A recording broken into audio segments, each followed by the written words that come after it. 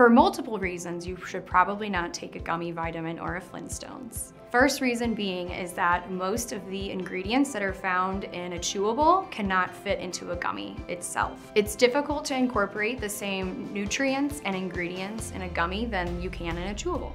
Another reason why you should stay away from gummies is there's usually a lot of sugar and high fructose corn syrup in them as well. It's also important to remember that these vitamins are not specifically made for bariatric patients. So when taking a multivitamin, you should really find one that is comparable to a bariatric vitamin or a bariatric specifically made vitamin. It's usually not recommended for bariatric patients to take gummy vitamins or Flintstones because even if you are taking three or four extra vitamins a day, you could still be missing out on key nutrients that you need.